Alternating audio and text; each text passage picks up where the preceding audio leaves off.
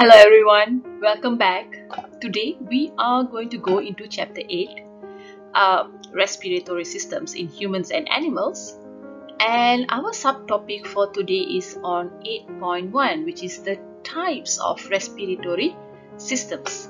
So I hope you are ready to take notes and let's begin. Okay, so now we have five pictures here. What you have to do is observe the pictures closely. Now, what differences can you observe from the picture? Of course, the respiratory system. Now, why are there differences between this respiratory system among these animals? It's Something to think about. Okay, some animals have different not some different animals have different uh, respiratory system. so some animals have lungs and some don't. Well they are all unique in their own way. And as they have different tasks to fulfill in this whole world. Okay so let's look into the learning objectives first. Uh, before we go in further firstly uh, you must be able to identify the respiratory structures in insects, fish, amphibians, and humans. Okay, and then you must be able to describe the adaptation of the respiratory structures and their functions for gases exchange in animals and also humans, the adaptation. Okay, and lastly, you should be able to compare and contrast the respiratory structures in humans and Okay, so various organisms have various structural adaptation to maximize the rate of gases exchange. Now what is gases exchange? Uh, gases exchange is the process of oxygen uptake from the environment and the carbon dioxide released to the environment by the living organism. Now, respiratory gases exchange takes place on the respiratory surface in the respiratory structure of a living organism through diffusion. So this respiratory structure is a structure specialized to help living organism breathe. Now as you have learned in chapter 2, unicellular organisms such as amoeba, they do not need specialized respiratory structures because they have a large total surface area to volume ratio for gases exchanged through diffusion. Okay, so the ratio of the total surface area to volume, the TSAV over V, uh, depends on the size of the organism. So the larger the size of organism, the smaller the ratio for total surface area to volume. This means that for the large and complex organism, the volume of the body requires oxygen will increase more than its total surface area.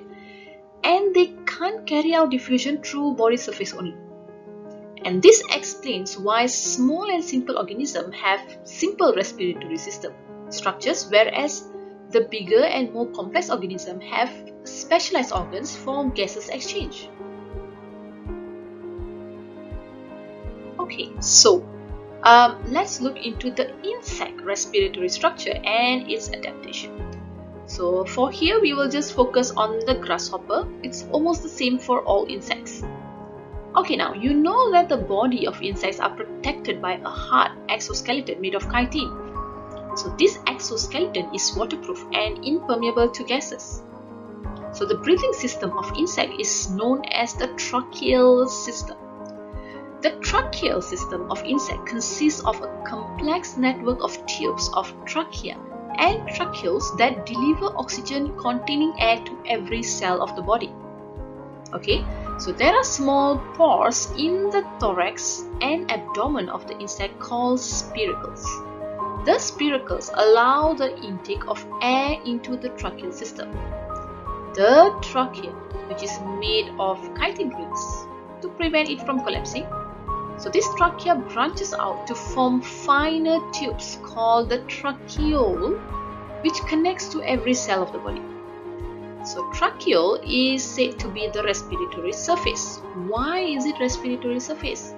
First because it is large in number for the large surface area Then it has a thin and moist wall which allow oxygen to diffuse in and carbon dioxide to diffuse out easily. Um, some insect has the air sacs filled with air in their trachea system to speed up the delivery of respiratory gases during active movement. Now, the pathway of oxygen uh, diffusion from the environment into the tracheal system is from the spiracle to the trachea, then into the tracheole and till it reaches the body cells. Okay? So now let's look into the fish respiratory structure and its adaptation. Now, fish are multicellular aquatic animals that breathe through their gills. Most fish have four gills that are protected by the operculum on each side of the pharynx. Now, the gills are made up of line or filament that is supported by the gill arch. The filaments are the one responsible for the gases exchange. So, the filaments are the respiratory structure. Now, the filaments have many thin and flat projection called the lamella, as you can see on the slide. Now, a large number of filaments and lamella gives a large total surface area for an efficient gases exchange. So, back to total surface area. The lamella membrane is also thin and it is supplied with many blood capillaries for easy absorption and transport of oxygen and carbon dioxide.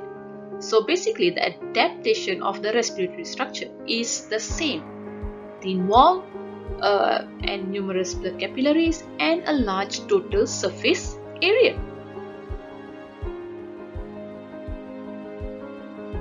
So now let's look into the frog respiratory structure and its adaptation. Now, amphibians such as frog have a respiratory structure adapted for gases exchange on land and in water. So on land, the frog uses their moist skin and lungs for gases exchange.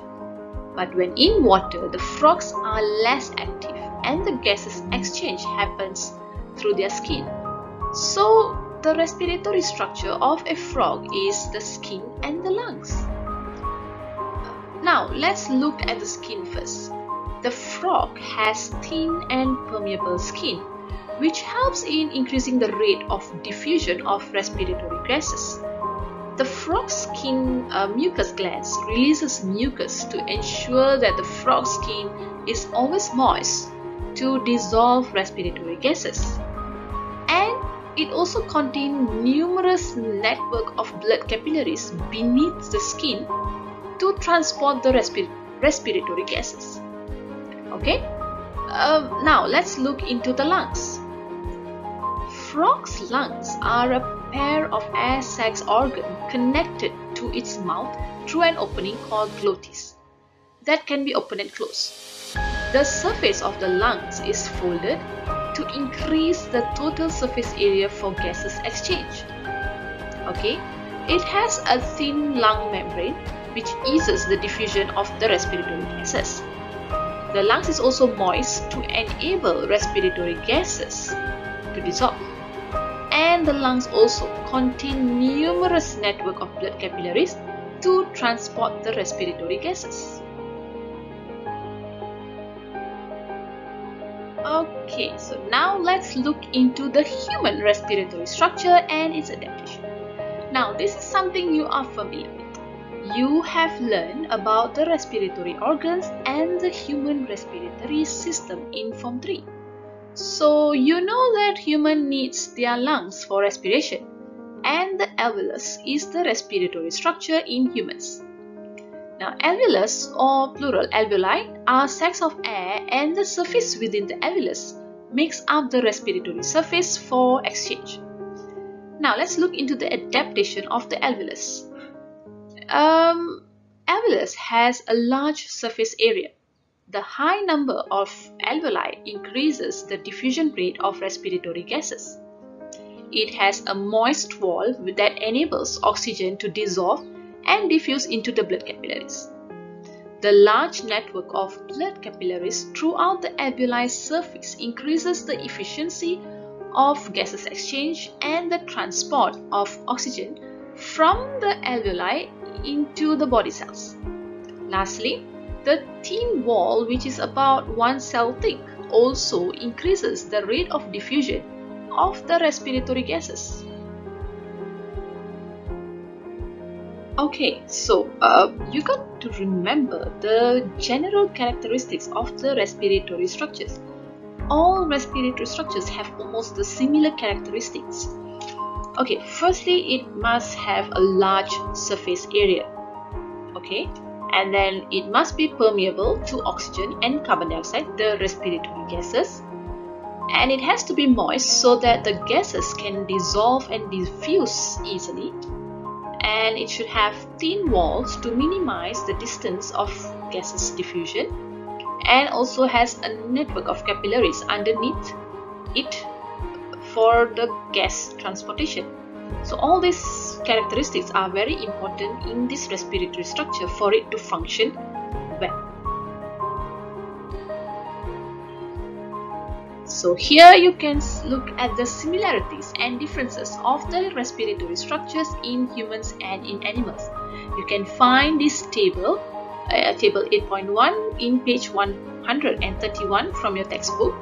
Go through that and uh, see if you understand the differences between the structures in humans and also in animals. With that, we are done. So as usual, at the end of the subtopic, you have to do the formative practice. So today you are going to do formative practice 8.1. Okay, so the question is, firstly, state the adaptations of the human respiratory structure. Explain how the frog skin is adapted for efficient exchange of gases. Okay, state the characteristics of tracheoles that help with the gases exchange in insects. And predict, okay, this one is prediction of what will happen to a fish if its gills are torn after being caught in a net. With that said, we are done for today's lesson. I hope you can answer all the questions, you understand the subtopic. If you do, don't forget to like and subscribe my channel.